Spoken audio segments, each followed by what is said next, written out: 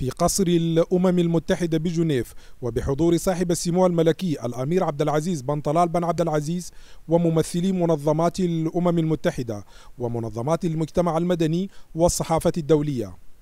لم تتمالك السيدة عائشة محمد يحيى الشبيلي دموعها خلال الكلمة التي ألقتها بمناسبة تسليم جوائز برنامج الخليج العربي للتنمية.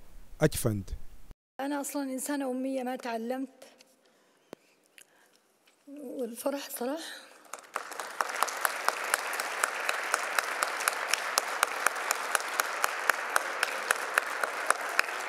ظروفي ما سمحت لي. ظروفي ما سمحت للتعليم ولكن الحمد لله يعني حبي للخير وحبي لتعليم البلد معلش أنا قادرة أتكلم.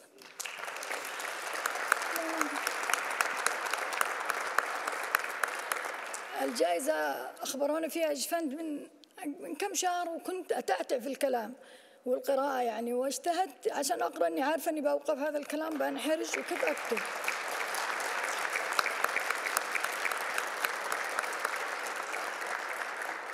وتعلمت سبحان الله الله أكرمني بأشياء ما كنت أتوقعها منها جائزة جفند ومنها نطقت القراءة والكتابة وأحمد الله وأشكره. وإن شاء الله أني أكون قد الثقة وإن شاء الله أني أستغل مبلغ الجائزة في عمل خير وإن شاء الله أني أطور المشروع ويطلع إلى النور أكثر وأكثر. وشكرا لجائزة تشفند وشكرا سمو الأمير طلال بن عبد العزيز. أكدت الفائزة بجائزة أجفند الدولية لمشاريع الأفراد. عائشة الشبيلي أنها لم تتوقع يوما أن تقف في مثل هذا الموقف وتخاطب جمعا كهذا موضحة أنها بدأت عملا لإشباع حاجة ذاتية وهي مساعدة الناس ما جعله محط اهتمام المهمومين بالشأن الإنساني والتنمية البشرية. المشروع الفائز بجائزة الفرق الرابع هو مركز إبداع المرأة السعودية.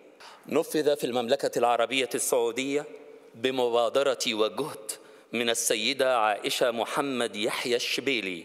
أنا أشكر جائزة إشفند إلى هذا الشرف بهذه الجائزة وأسأل الله العلي القدير أن أكون قد الثقة هذه وأدعم بها بنات المنطقة.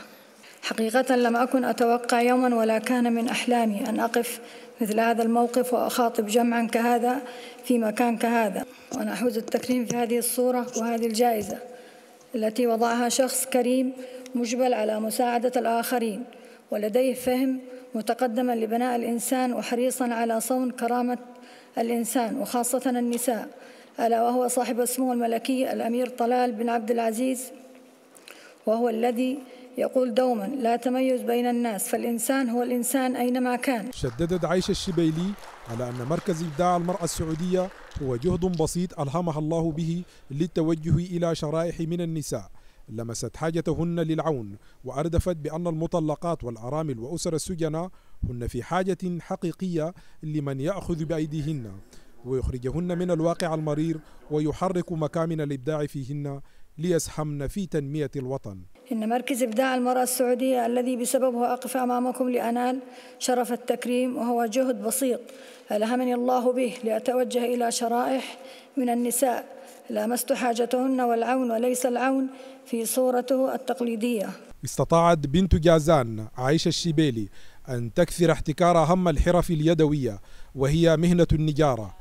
ولم تمنعها الشهادة الجامعية وعش الزوجية والأسرة من تحقيق حلمها الأصعب بأن تكون امرأة بصفة نجار حيث أتقنت المهنة. وعلى مدى نحو عشر سنوات التحقت بالمركز أكثر من 500 من النساء من مختلف الأعمار في الشرائح التي نستهدفها وتخرجنا في وتخرجنا في دورات تدريبية مجانية بمهارات ومهن تحفظ عليهن كرامتهن منهن عديدة بينهما الخياطة والتطريز وحتى النجارة.